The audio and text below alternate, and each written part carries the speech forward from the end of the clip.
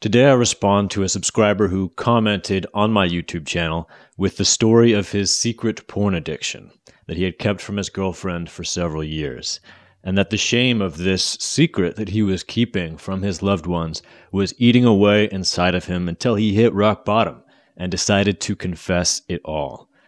And his girlfriend, when she heard what he had to say, she.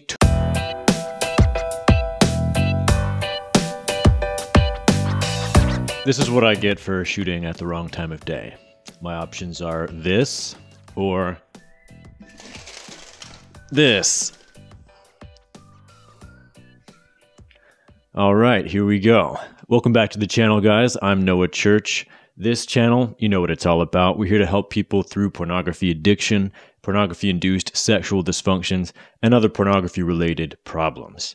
I'll say right off the top today, you should definitely read my book if you haven't yet. It's a mistake just to watch these videos and glean little bits of knowledge here and there. Instead, go straight to the source, get some foundational information. You can get the PDF of my book for free. Just subscribe to my newsletter on my website, addictedtointernetporn.com. I'll also say that this Saturday, October, why don't I ever memorize these dates before I start shooting these things? October 26th at 10 a.m. Pacific time. I will be shooting a live stream event on YouTube, Q&A. So come in, bring your questions. If you wanted to talk to me, if you want to ask me something, that'll be the time. 10 a.m. this Saturday, Pacific time, the 26th. All right, let's get into Anon's letter. When I met my girlfriend, I told her about my porn addiction and how I wanted to quit. Shortly after we got together, I swore off porn and told her I had quit. A month into the relationship, I relapsed. I swore to myself this was never going to happen again, and I didn't tell my girlfriend because it would hurt her. And as far as I knew then, I was over my porn addiction. So there's a lot to unpack in this first few sentences. Uh, it sounds like this Anon started off really well. He met someone he liked, he felt a connection, there was a spark, and he wanted to be open and honest about where he was in his own life, in his development, in his recovery with that new partner. It's a great start to a relationship, being open and honest, uh, presenting yourself for who you are, and letting that person decide if she wants to be with you. And that start, unfortunately, got a bit rocky. A month in, he was riding that high, that motivation of having recently quit an addiction and thinking that, oh, this means I'm all better because I'm not feeling any urges. But he got complacent. And the two main mistakes that he made were not practicing recovery every single day, instead, thinking that he was all better and getting complacent, and then not maintaining that openness and honesty and communication in his relationship which is so important, especially in that romantic partnership. Once an addict, always an addict is a statement that is very true. I've talked about this on the channel before. It can be misleading to some. They think, oh, well, there's no hope at all. I can never, you know, get over this. I can never cure myself of this addiction. And in a way, that's true, but it doesn't mean that your addiction has to limit the quality of your life or control your life or your actions or that you'll be constantly plagued by urges and temptations, as you might be feeling now, early on in recovery, if you're watching this during that time in your own journey. But it does mean that though we can be sober and clean, and those circuits built into our brain that drive us toward this compulsive behavior can go dormant, they can always be re- I can't speak, be reactivated if we ever get complacent, if we ever stray off the path, if we ever start seeking that type of stimulation again and forget the lessons that we learned that helped bring us to the point that we are now, helped us recover. So you always have to remain vigilant about remaining on the path that you have selected for yourself and being aware when you're starting to stray off and noticing those red flags before they turn into a full blown relapse. If you're curious if you yourself are addicted, because not everyone who uses porn is, of course, and not everyone with porn induced problems is an addict, but you should check out the test that I developed that'll give you an idea of whether or not you're struggling with addiction. I'll link to that in the description below. And also, if you'd rather read rather than watching me speak and stumble over my words sometimes, I always do make an article as a companion along with the video. The link for that is in the description below. So if you'd rather read or read along with the video, you can do so there, and all the links will be there as well. Now, what does practicing recovery look like? Uh, it's different for each individual and it's complex. There's no one size fits all to recovery, but in general, it looks like this uh, honesty, both with yourself and your loved ones. It's not like you have to reveal every detail of your addiction to your loved ones, but you have to be honest with them, especially the ones who are closest to you. And that sort of openness and honesty and allowing yourself to be vulnerable is the enemy of addiction and your ally in recovery. Because addiction is a disease of isolation and secrecy and lies and shame. And the more you open up and allow people around you to understand who you really are, to accept you, and to support you, the better off you're going to be. Uh, building and maintaining a consistent support system and guidance system for yourself. So, having not only your partner, your mentor partner, aware of your recovery, but also other people you can turn to for support, to talk to, uh, for acceptance, for guidance, friends, maybe a support group like a 12 step group, therapist, counselor, coach. Build a support system for yourself because none of us is in this life alone, and trying to go it alone is a big mistake. Uh, you got to learn how to face and process difficult and painful emotions instead of feeling those painful emotions like depression, rejection, loneliness, and turning away from them, trying to find a way to escape from them. We have to face them because those painful emotions are telling us that something is wrong and needs to be addressed or that we're missing something. And the only way to truly solve those problems is not to run away from the pain, but to embrace it and learn from it. Uh, discovering our core emotional needs and how to fulfill those in a healthful way. Addicts they're looking for satisfaction for those, those core emotional needs in the wrong places and places that will never actually satisfy. You might think that you're horny and that's why you're using porn but it might actually be that you're lonely that you don't feel accepted and understood and you're looking for that feeling of acceptance and connection and love where you're not going to find it which is on a computer screen interacting with pornography and until we do start addressing those real needs and meeting them there's always going to be that vacuum, and that vacuum is going to pull pornography back into our lives if we allow it to. Understanding the entire chain of emotions and events and actions that leads back to relapse, that leads to porn.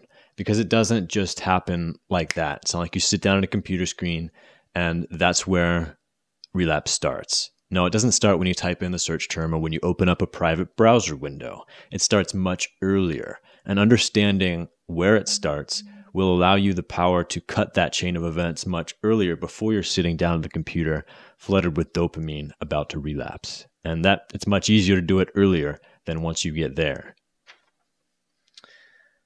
Uh, making your home and your work environment friendly to your recovery, putting up roadblocks and safety nets between you and relapse is really going to help in those moments where you're just feeling impulsive and where you might otherwise just impulsively use pornography. Having some roadblocks between you and that decision is really going to help uh, allow you the time to make a different decision, to be mindful about what you're doing, uh, to shake yourself out of it. And those roadblocks might look like uh, cutting off the internet from your home or having rules about your devices and where they go and when you use them. And it can also be accountability software, which I highly recommend for anyone on this journey. Uh, the one I usually recommend is Covenant Eyes. That's something that you install on all your devices and you select accountability partners, people you trust in your life, to get reports on your online activity. So basically, you know that whatever you look at online, if you look at pornography or anything sexual, it's not going to be a secret. And that's really good motivation not to seek it out, not to relapse. All right, he says, My highest streak after that first month with no porn was a week. After a while of relapsing week after week, I sort of just gave up. I'd half ass uh, recovery, and then when I wanted to relapse, I'd lie to myself, professing, This is the last time. Uh, no one is better at lying to themselves than addicts are. we get very good at it. I got very good at it too. I know this from personal experience how compelling it can be in the moment to want to rationalize to yourself why it's okay to use porn just this once. Even though a big part of us knows that it's a lie, knows that it's a rationalization, we want to believe it. But we also want to believe that the future version of ourselves is going to be stronger than we are now and is going to pull ourselves up out of this addictive cycle and change our lives. We just don't want to start doing it right now when we feel that urge and when we have that impulse. So, I recommend an exercise to get you started overcoming this habit, this cycle, this repetition. And that is a journaling exercise. So, get out a piece of paper, make two columns, and in one column, write down every lie or rationalization you've ever used to convince yourself that using porn just this once is okay. And in the corresponding column, the opposite side, write down the truth of the matter. So, for example, if your lie is, well, I don't have a very long streak anyway, since I relapsed only a few days ago, and it's going to be much better if I relapse and use porn now. It won't feel as bad as if I relapse after like three or four weeks or a long streak, because then I'll really, really be disappointed in myself. So I'll just do it now, and then I'll build up a long streak later. If that's the lie, then the truth should go something like, well, I'll never have a long streak, much less a permanently porn free life, if I keep making this same decision and keep choosing relapse over taking it one day at a time and building up a long streak of sobriety.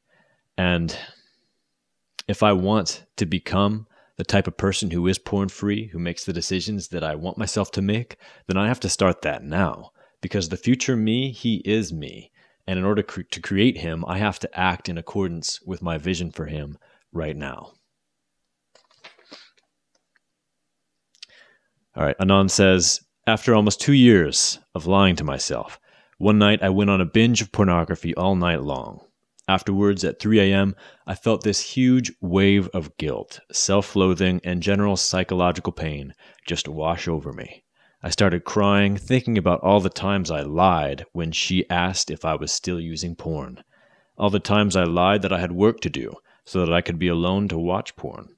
I realized I couldn't keep doing that anymore. I couldn't keep lying. Every time I lied, it dug a hole in my chest, which by the time this time was a gaping pit. I told myself that morning that as soon as she wakes up, I'm confessing everything, even if that means she wants to break up. So, with the possible exception of people like socio- sociopaths or politicians or salesmen, um, we are naturally inclined toward love and toward integrity and honesty with each other. And to act against that, it might feel okay in the moment. It might be an advantage in the moment. We might be able to get things or avoid pain or pursue pleasure with lies. And it might even feel good in the moment getting away with something. But in the long run, it hurts us. Every lie hurts us. And the more important the lie, or the more important the person is to us whom we are lying to, the worse it's going to hurt. And the more it's just going to dig pieces of ourselves out of ourselves. And eventually, we're going to feel so bad. We're going to want that truth to be free so badly that we hit rock bottom and we bounce off and we make a confession. But let me tell you, the earlier you do that, the better, because continuing to lie to yourself, to others, to your loved ones, is just going to keep digging that pit deeper and deeper. Addiction, like I said before earlier in this video, a disease of lies, secrecy, isolation. And if we can break open those lies, allow ourselves to be vulnerable, show our loved ones who we really are, and see that they still accept us, they still love us, that can be such a huge leap forward in the healing process. And we might think, no, I don't want to hurt them. I don't want to risk rejection. I don't want to make myself vulnerable. So I'm just going to go it alone. I'm just going to do this alone. I'll solve it by myself. And maybe someday after, you know, the problem is in my past, the addiction is in my past, maybe at that point I'll open up and I'll say, you know, I used to have this problem, but I got it I got it handled now because I'm a real man. I did it all by myself. uh, that just doesn't work. And for most of us, we might go through years trying to convince ourselves that we can do it on our own, just digging ourselves deeper and deeper, getting more and more ashamed, driving bigger and bigger wedges between us and our loved ones until we finally realize, like Anon did, that it has to change. Something has to change. So that's exactly what I did, he says. When she woke up, I confessed everything. I was crying and filled with so much shame and remorse as I told her everything, but as I did, I felt a huge weight lifted off of my shoulders. That was 21 days ago, and I haven't relapsed to porn since. My girlfriend knows that I'm 100% committed to never watching porn again. Right now, I feel a lot more love for myself because I've stopped lying, and I feel a lot closer to my girlfriend because I'm a lot more open and honest with her. I also feel a lot closer than I was to being the man I want to be. Well, let me tell you, my friends, there is no replacement feeling that can take the place of just living without shame, uh, being proud of who you are and the actions you have taken, being able to walk out into the world with your head held high, knowing, you know, I'm doing my best and I respect myself, I'm proud of myself, and I'm not ashamed for anyone to see me for who I am. That is a great fucking feeling. Does YouTube still pick up on curse words and censor them? I don't know. Uh, anyway, I don't usually curse on this channel. I don't usually curse in real life, but sometimes for emphasis, you just got to drop the F bomb. So it sounds like you're on a better trajectory now, Anon, uh, but there are some red flags that I still see in what you say here. You're only 21 days now porn free, or at least you were when you made this comment. That's still quite early on in recovery. And I'm sure that you were 100% committed to never using porn again when you first got together with your girlfriend and quit. So I ask you what's different this time. And I challenge you that instead of committing 100% to never using porn again, that you instead commit 100% to every day actively and positively practicing recovery. And that you don't get complacent, that you remain vigilant, that you seek to grow and to learn and to develop yourself every day, and to be the man that you want to be in the present and on into the future every single day Practice that every single day and do your best every single day. That is the commitment that I ask of you. And if you make that commitment, then I'll have much more faith and hope in your potential to become permanently porn free than if you just say, I'm committed to never using porn again. Because addiction, it's all about not being able to keep those promises to ourselves. And we have to a lot of learning to do and a lot of work to do in order to be able to overcome that tendency to break those promises that we make to ourselves. So put in the work and you'll be okay. There might still be relapses in your future. That's all right. That's part of this process. But as long as you're committed every single day to bettering yourself and to practicing recovery, you have a chance. You have a really good chance of living the kind of life that you imagine and having the kind of relationship that you both deserve. All right, this was today's video. Hope you all benefited from Anon's story. And if you'd like some personal guidance along this journey or just a consultation, someone to talk to who's been there, I'm available as a coach. You can find me and how to work with me on my website, addictedtointernetporn.com. And if you want a free way to contact me and get your questions answered, then come see me for my live stream Q&A this Saturday, October 26th, 10 a.m. Pacific time. And remember that uh, daylight savings time change is around now. So if you're in Europe or in the UK, then be extra careful that you come at the right time because it changes at different times for the US and the UK. I know that much. All right, everybody, have a wonderful PMO free day, and I'll see you next time.